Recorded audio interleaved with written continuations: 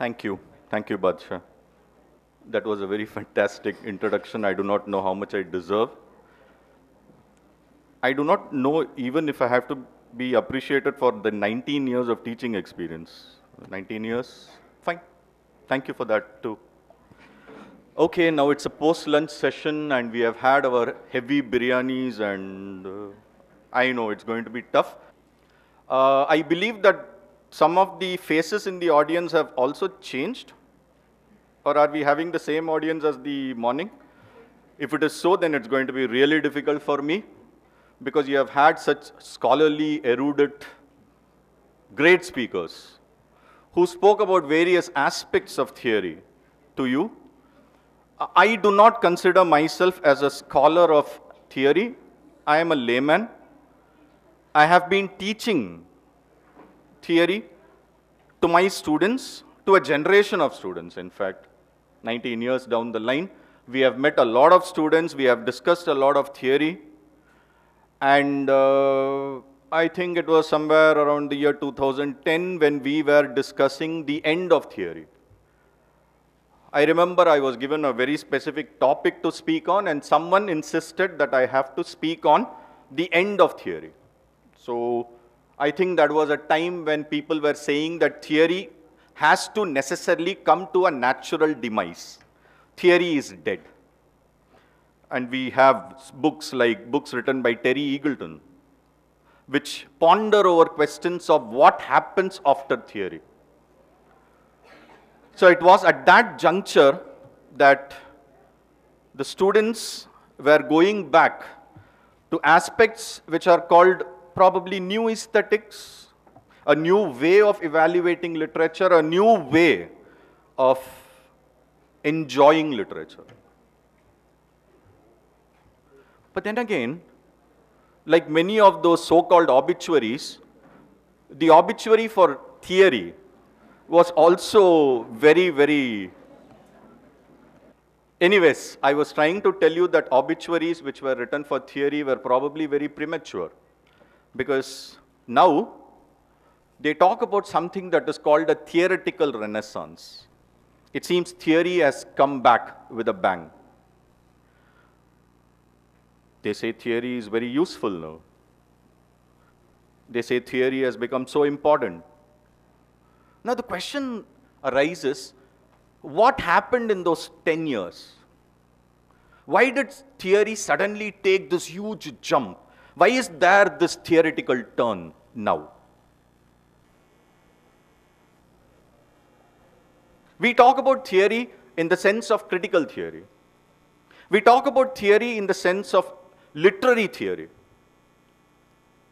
But my dear friends, I want you to contemplate about a third nomenclature which we need to apply to theory, and that is cultural theory,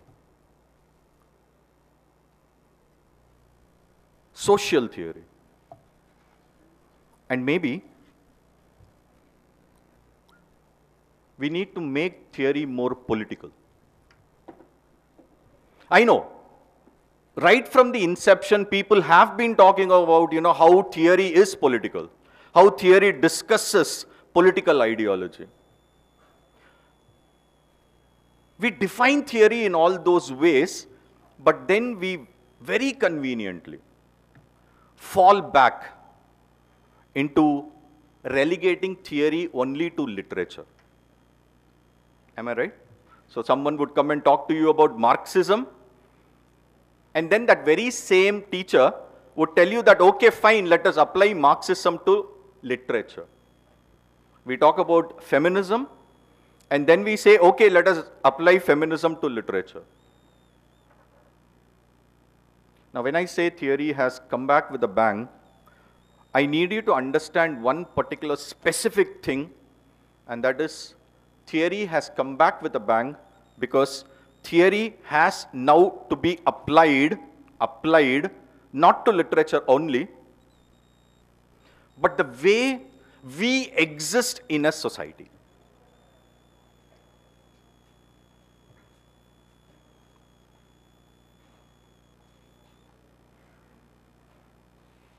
I want you to think about that. Because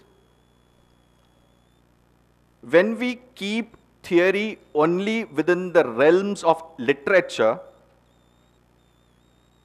what we are doing is that we are doing a great injustice to something that could have shown us a whole new world order.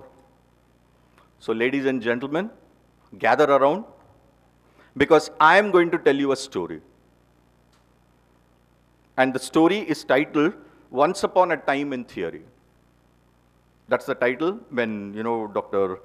Hanif came up to me and said that, sir, we need you. You have to come. I looked at the titles which were suggested by our scholars, and I thought, in what way can I do something different from what they are, they are already going to do? Because I'm going to be the third speaker. So I thought, why not tell you a story?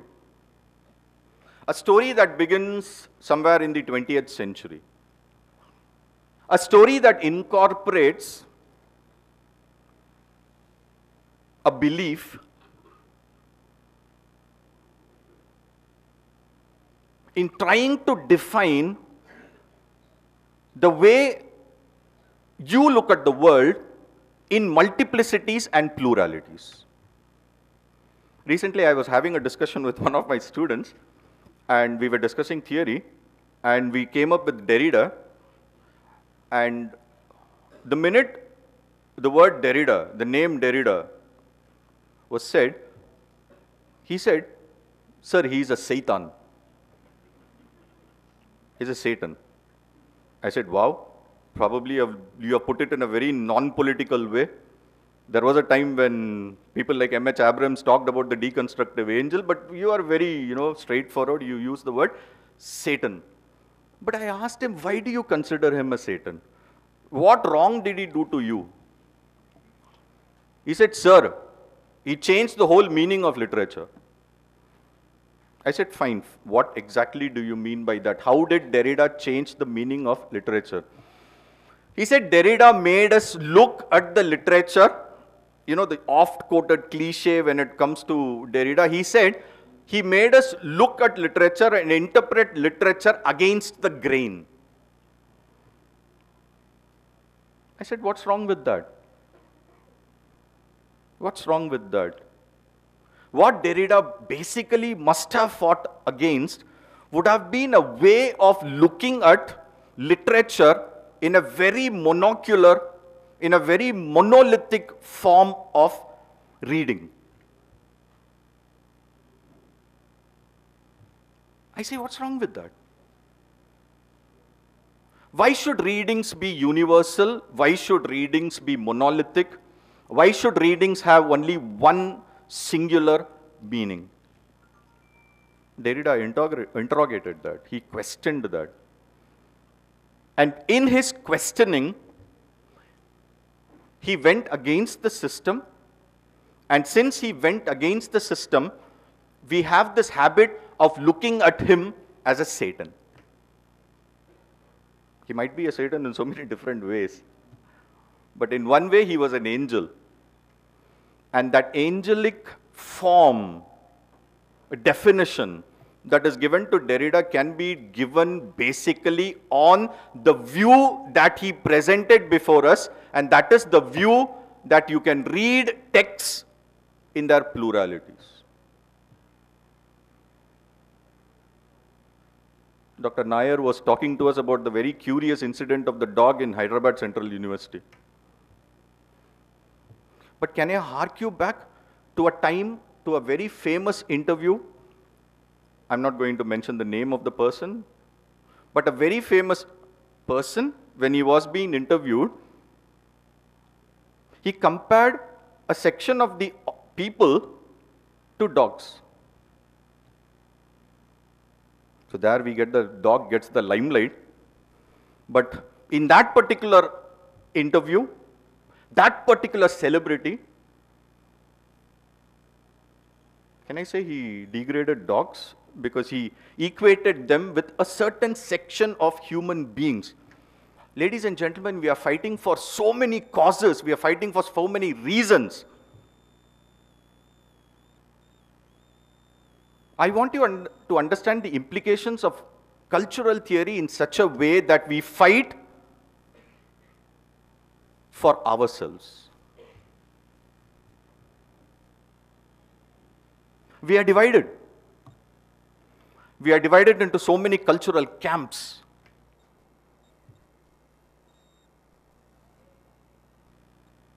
There is this very famous post colonial theorist, Mahmood Mamdani, who says he, in fact, inverses Derrida and he says, okay, fine, there is a play.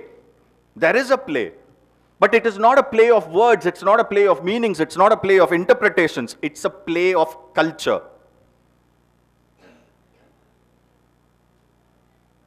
Cultural theory or using the implications of theory in a cultural turn it makes us understand exactly what we are.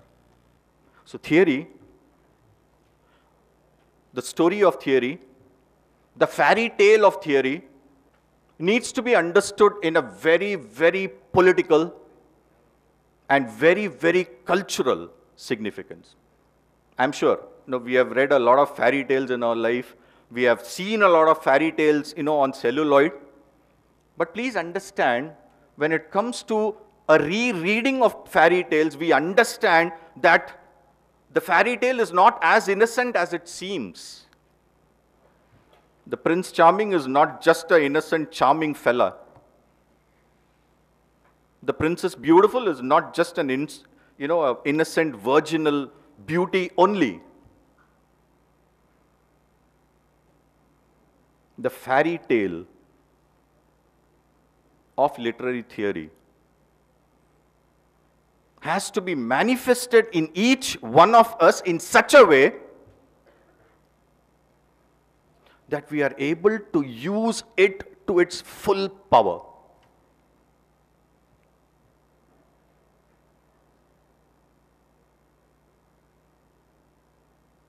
When we talk about an interpretation of literature on the lines of theory, we need to understand that it's not just a facade that stops with the classroom. It doesn't stop with the classroom. It needs to go beyond, it needs to go further. And those ideologies have to be applied in life also because what else is literature other than the seminal interpretation that we give? It's the mirror of society, it's the mirror of life. I hope you understand what I'm trying to tell you. It's very simple. If you're going to talk about feminism in class as a theory, I need you to go back home and see whether you're able to apply the concepts of feminism in your home. Now, there lies the problem between the idea and the reality. Right? There lies the problem because it's so great to talk about theory. Theory is a heady addiction.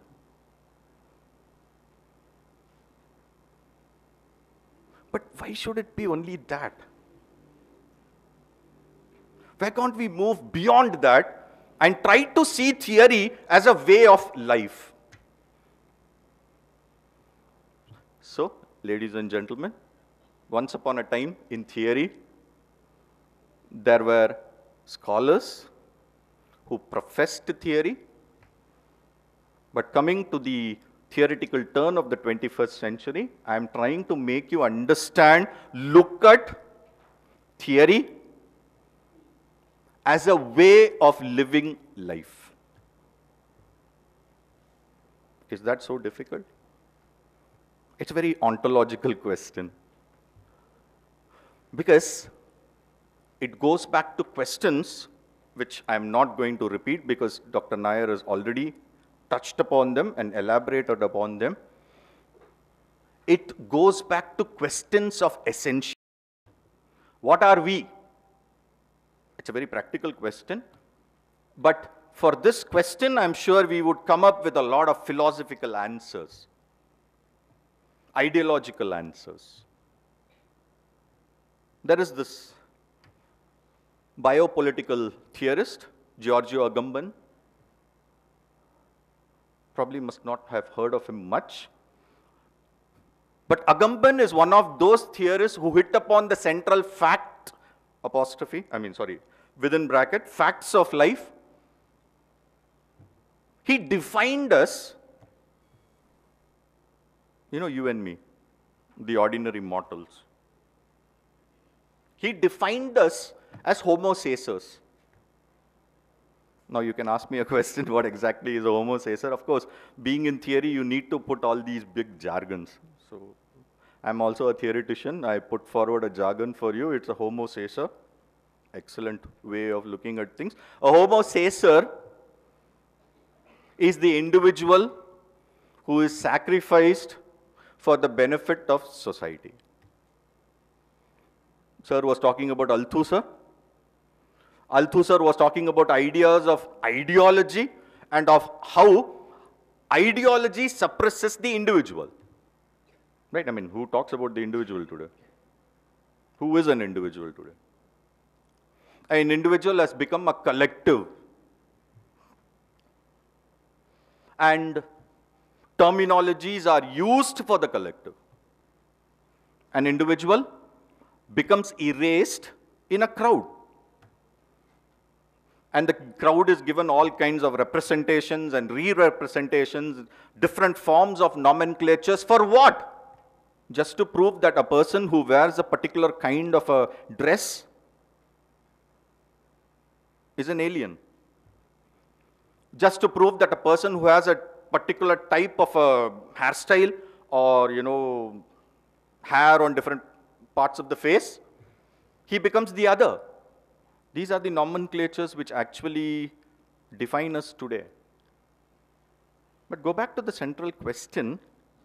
If you're trying to erase a person's individuality and try to give him an identity based on a collective, be it Althusser or be it anyone, the idea is that an individual will, an individual identity is being erased for, I do not know, maybe they can call it a collective truth. Now, believe me, believe me, theory, when it becomes practical, when it becomes applicable, theory is one thing that can show you the way. Look at the idea of the gaze. What a beautiful presentation about the gaze. What a scholarly presentation about the gaze. We talk about the gaze in media, we talk about the gaze in you know, uh, literature, we talk about the gaze in society also because we think literature and media reflects the society. But my, my point is, why don't we take it further? Because gaze also tells us about positionalities. A gaze is not just a gaze, you know, where there is a physical sense of the gaze. There's a psychological sense which tells you about positionalities. A very trivial, maybe, way of looking at it would be what is my position here? Who am I? How do you see me? Question is very trivial. But the answers might, might be a bit problematic. When Yunus, he was called upon to be given the prize for uh, what teacher is that? Poster presentation. No, you, you were given a yeah a meticulous teacher. Obviously, he works in Sadakathullah Appa College. He has to be very meticulous. He was given a plaque for that. Excellent. And he was introduced as Dr. Nayar's uh, student. He was also my student. Does anyone know that? Do, do you know that? Obviously not. I was never uh, introduced as Yunus's teacher. Who bothers? So is there a positionality in that? Is a very big question. Uh, I'm so sorry, Dr. Nair, I hope you're not offended. Because Eunice definitely is not. I'm trying to make, okay, fine, it was a very trivial, rubbish kind of a example, maybe. But I'm trying to make you look at, of, at how positionalities define an individual. Someone said that everything is a discourse. So maybe positions also become a discourse in the society of today. So when I say that, we move from ordinary, trivial, superficial occupations to very problematic foregroundings of issues. Trump was here yesterday. That in itself is a statement. Trump was in Ahmedabad. He went to Delhi, Agra, and everywhere Trump was given a truncated vision of Indian society. Uh, do you agree with me on that? We talk about the Great Walls. Now a Great Wall has also been erected here. Where are questions about that? Believe me, theory gives you a question to that. Theory, theory problematizes, problematizes the construction of a wall and it seeks answers into why. Sir, am I, am I being very political? I hope not. I'm, I'm, I'm being very straightforward on this. There, there, there are no, you know, biases in what I speak. And I have to tell you this because I had a very curious and uh, probably a, they talk about the concept of enlighten, enlightenment, right? So I had a very enlightening experience once when I was in Indonesia and we, I was part of a series of lectures on post-truth, such an important uh, piece of discussion today, right? So I went and I was introduced and uh, they said, my name is Abdul Muhammad Ali Jinnah.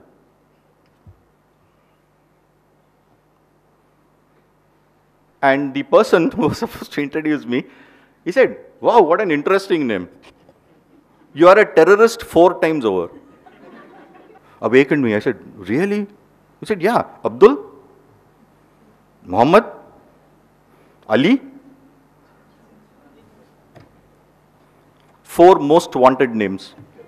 I said, fine, okay, this is one way of looking at it because a lot of people make fun of me with my name because they say I come from Pakistan. A lot of people make fun of my name. That's, that's, that's fine. Coming from Indians. You know, this banter is very fine.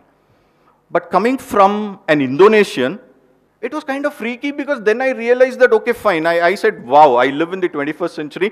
So if I live in the 20, 21st century and if 21st century is the is the landscape of leaders like Trump, I guess I am victorious. Because at least you had something and you, you point me out as an individual. Maybe not a very uh, congratulatory way of looking at things, but yes, you do point me out as an individual. It might appear to be flimsical, but the point that I'm trying to make is absolutely pertinent today because names define our individuality. Okay. Friends, once upon a time in theory, there were ideologies which were questioned. There were centralities which were being interrogated. There were issues which were problematized. Theory has existed for more than a hundred years where have all those questions and interrogations and presenting of problems gone? Especially today. Have we gone back to being monolithics? Have we gone back to a stage where we live in an emotional and existential vacuum where we are not ready to ask troubling questions at all? If we are, if we are, where are those troubling questions? And maybe we can extend it and go further and ask ourselves the question, what are those troubling questions? What has happened to all that cultural energy that was collected over the years? The roaring 60s, the fighting 70s, where people used to fight, question, argue. Where have they gone? Once upon a time in theory, all these were central. I think what we need to look at is a resurgence of all this. a getting back to the idea of interrogation, a getting back to the idea of questions, a getting back to the idea of individuality. And for that, for that, we need to go back to theory in a very different and in a very refreshed manner. Theory does have a vision for the new world order. It has already given that. It has already posited that. It's already available. The only thing that we need to do is to go back to that, retrieve all those ideologies which we have conveniently archived, get them back, and try to apply them to the social order in which we live. I'm sure some of our students do not even bother about that. I see a section of audience out there just talking among themselves and, you know, having fun among themselves. They are not even bothered about, you know, these kind of questions. For them, what is literature? Fine. We read the essays, we write them, we get some marks, and we go back as teachers. But for those who are listening, I need you to open your hearts. I need you to understand that theory need not necessarily only be a painting on the wall which you see and appreciate. It has to be that fairy tale in which that personality on the painting comes out and walks up to you and becomes a real member of your life. So remember when Agamben was trying to tell us that you, we have become, we have reached the age of the Homo sacer, it means that we have lost the ability to think. Because from Homo sapiens, we have come to Homo sacers. And we are all purportedly individuals who have the capacity to think. So think. Think in terms of how concepts for example, Spivak's ideology of worlding. Think in terms of how concepts like worlding need not be seen only in the textbooks and the discourses of literature. Think about how worlding can happen right here in front of us. It's happening all around us. Think of how you look at the other. We Indians are so good in saying that, you know, we have university in diversity. That's the whole tenet of postmodernism. That's the whole tenet of pluralism. That is what Derrida taught us.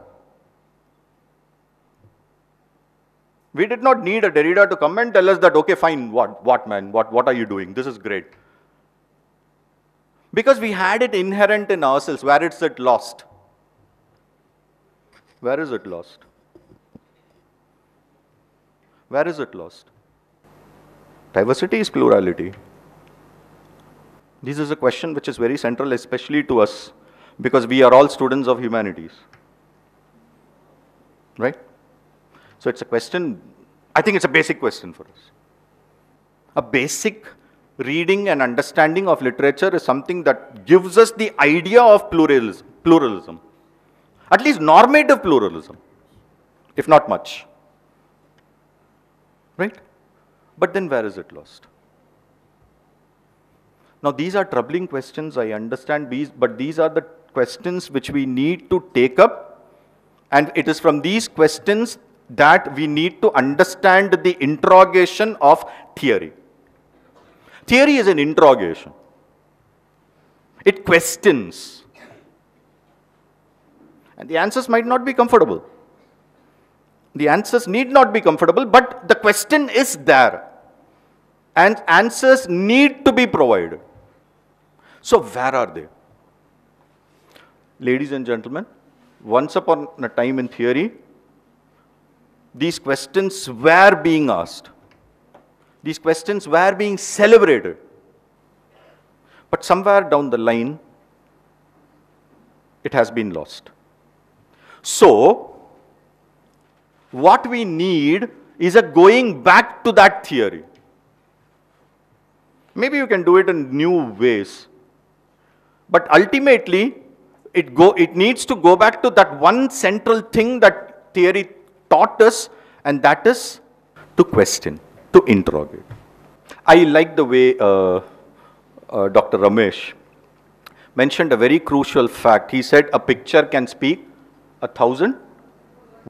Now, as a student of theory, as a student of theory, we will not take this assumption.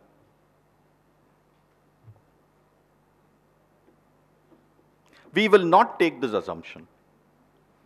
In fact, what we would try to do is rewrite this entire canonical statement into a picture can have thousand interpretations. Check how much the media has been played and misplayed today.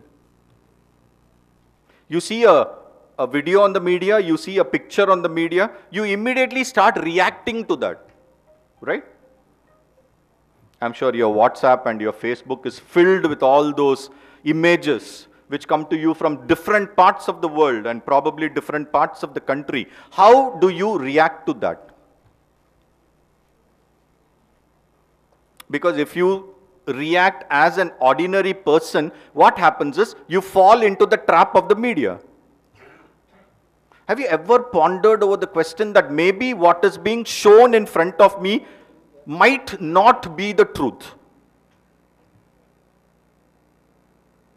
I'm asking you this question, a very troubling question, especially from the point of view of whatever is happening nowadays. Because we talk about hyper reality, and today we are talking about concepts like reverse hyper reality. Baudrillard gave you ideas that maybe the issues, the images that you see on the screen might be manipulations, but today we have gone into manipulations 2.0, 3.0, 4.0. We never know what is real and what is R-E-E-L, real. So in such a society, in such a context, how do you react to anything? That's a very interesting question because you either take this side or you take that side. Now think in terms of theory. There are no facts, only interpretations. There are only ways in which you look at things. Dr. Nayo said that it was the way a perspective was being formed. Excellent. But why is it always that my perspective is better than the other person's perspective? Why is it that only my perspective is being given a centralized position and the other person's position is being marginalized? Because if you do that, what happens is you're going against the grains of theory. Now, theory theory shows you that there is a possibility that what you see in front of you might not be the truth. Theory gives you a possibility that there is a resonance coming from that text, coming from that context, coming from that work of art, and that resonance might be skewered. I'll give you an example. When I was a student of BA literature here, 90, 93 to 96, thank you for remembering that. Even I forgot. From 93 to 96, we had a subject, history of English literature. Everyone has that subject. And there was this one very beautiful person who used to come and teach us, Age of Shakespeare. And from his discourses, maybe, we came to know that Shakespeare and you know Elizabeth during the early part of his career had a very beautiful relationship. I mean, see, don't laugh. I mean, in the sense of Shakespeare being a poet, dramatist, and Elizabeth being the queen, the monarch. We were fascinated by that. We thought that, okay, fine, you know, Shakespeare is a very fine gentleman and Elizabeth is a very fine queen. We were fascinated by that, but somewhere down the line, some theorist comes and tells you that there was an agency involved in that, and the kind of relationship that Shakespeare and Elizabeth had was a very troubled kind of a relationship. It seems Shakespeare was never comfortable with the fact that she was his queen. Now, I believe in my teacher. He was my guru. He told me this. But now this, this new theorist, he comes and tells me that it never happened that way at all. Now who do I believe? My teacher or Stephen Greenblatt? Now what Greenblatt is doing is problematizing the entire question truth of history. And then we come to realize that maybe the history that is being presented to us in a very conventional manner might not be the true historical fact at all. So how do I look at history today? Because history has become such a important and very fascinating kind of a subject today. How do I look at a historical text? How do I look at a historical fiction? How do I look at historical fact? Which probably my grandmother tells me or my father tells me or you know someone from my you know lineage tells me. It's very simple you know history is not a monolithic presentation of facts. Can we accept that? Because if we accept that we go into realms of questions and interrogations of something that was considered to be an indisposable and an undisputed fact of life. Can we talk about ideas like deep history? Can we look at how a particular um, historical figure in a neighboring state is being portrayed today? There was a time when he was considered to be one of our most ferocious and most valorous freedom fighters. But today, that very same self, same, the same king, gentleman, is presented as one of the villains of history.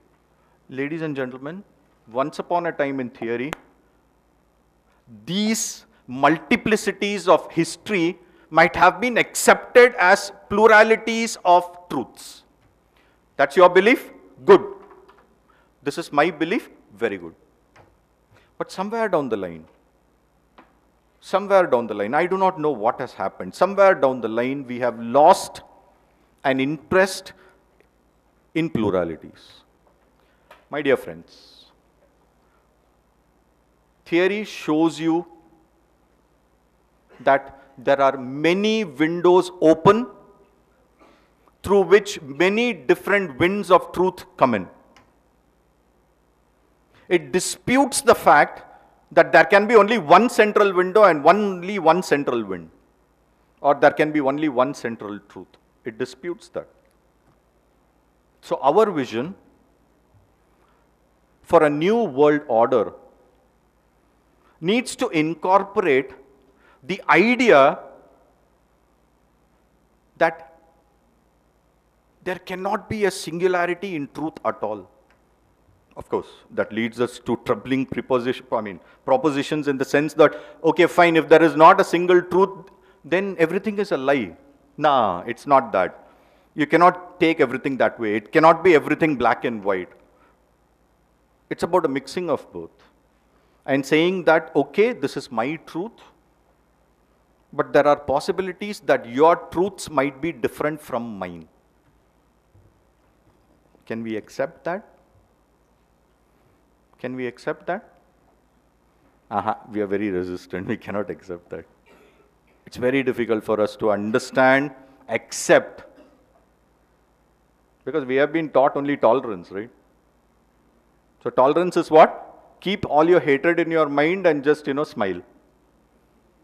So we cannot accept that.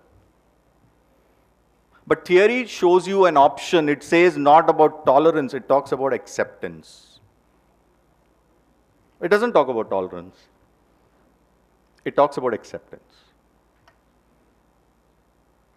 And what is that acceptance we are talking about? The acceptance is that this is my interpretation, this is the way I look at things, and that is the way you look at things.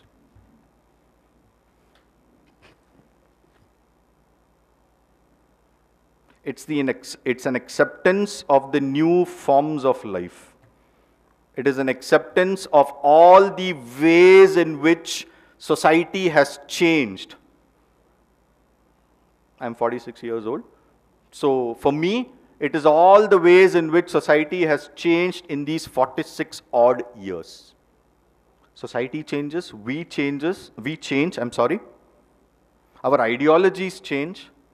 Probably we become more mature, I do not know. But in all this, I think the principal was talking about, you know, how everything changes except change. You know, in all this, we need to accept the fact that with the advent of change in society, with the advent of so many changes in ideologies in society, we need to understand that it is going to lead us only towards one particular way, and that way is the way of acceptance. It's the way of accepting that pluralities will always be there, and theory shows you a way to find a solution through all these questions of problems and pluralities. So, maybe theory might start from psychoanalysis and might come up to all these new theories that we handle today. There might be cyborg manifestos and post-human manifestos and zombie manifestos and alien manifestos and all these new ideologies which come to us today. But ultimately, we need to understand the simple fact that theory is something that opened our eyes. Theory is something that made us understand that there are vagaries in life, and theory gave us a solution to the new world order.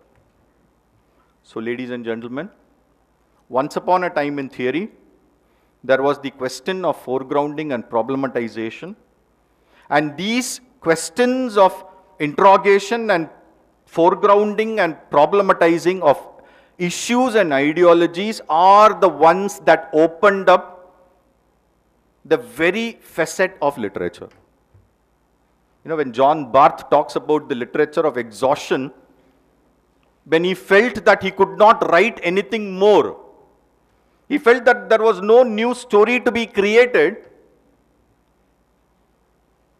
He was reminded that all these parameters which he is applying as a definition of fiction are ultimately simply meta narratives. And then he comes up with another essay where he talks about the literature of replenishment, where he says stories might become old, characters might die out, plots might remain the same, but the way a writer handles all these things together and the way he presents it to the audience, to the readers, to their excitement, literature will always be replenished. Remember, we talk about the eternal pot in which food and water will always keep recurring. He says literature is something of that sort. My friends, I'm just asking you to take this idea of literature of replenishment and apply it to the society of replenishment. Our society can never die. Our society can never be exhausted, be extinct. If we look at it through the lens of cultural, social theory and interrogate all those meta narratives that are laid on top of us. So, ladies and gentlemen, once upon a time in theory, there was a revelation. Now, this revelation is not the theological revelation. It might be, in the terms of my student, a satanic revelation. Might be. But it was that revelation that showed us how to handle a society that has become so troubled and stressful in a sense, how to handle a literature that has become so, I don't know, laid back, extinct. don't you think that the Derridian values of deconstruction made us look at literature in a very different light? I mean, come on, now you can talk about how much we, were, we hate Shakespeare. We apply all the you know, ideals of theory and we tell, look, Shakespeare is a person to be despised. Look at the Shakespeare, uh, I'm sorry, Wordsworth is a person to be despised. Look at his gaze in the solitary reaper. He talked about the daffodils. Look at his gaze in the solitary reaper. Behold her single in the field. Yon solitary highland lass. Behold her single in the field. Solitary lass. That is a gaze. But come on, without theory, without Barbara Johnson, who gave us this wonderful interpretation of Wordsworth, deconstruction, how do you think Shake, I'm sorry, why do I keep saying Shakespeare? How do you think Wordsworth would have survived to the 21st century? Like Shadwell, he might have been relegated to the realms of erasure in history, but he survives. Because he is that one writer who, as a student, you can read and enjoy, and as a teacher, you can read, reread, interpret, and thrash. So Wordsworth survives for all of us. Theory can make things survive. Theory can make things exciting. And theory can show us that there is always a possibility of another world opening up to us. Theory is an heterocosm. Usually they say literature creates heterocosm. I'm using Baumgarten's ideology of the heterocosm in a very different fashion. I'm telling you theory is an heterocosm. The theorist is like Adam. He points out, he names, he understands in his own way. And through the understanding through the creation of that interpretation of heterocosm, he shows us that life is still worth living and life will always have possibilities right in front of us. Thank you so much for your patient, patient listening. Thank you.